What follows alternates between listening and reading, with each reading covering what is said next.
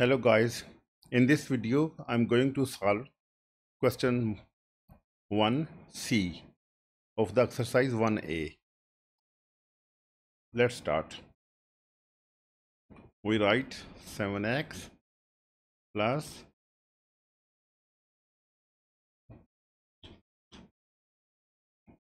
x square minus 18 is equal to 0. This is a quadratic equation and we will use the factorization method. Let's organize the equation with respect to the power of x.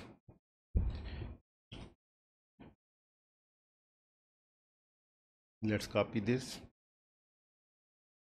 and we shift 7x to the right of x plus 7x now we need to find a number that will uh, find a pair of number that will compute to the coefficient of x square that is 1 and the constant that is 18 and when we sum of that pair we will get 7 so we start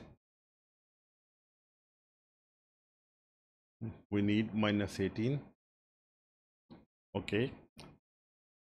18 multiplied by 1 we cannot get a pair 9 multiplied by 2 yes we can get a pair we get 9 multiplied by minus 2 8 minus 18 and we will add up we will get 7 okay this will help us factorize the equation.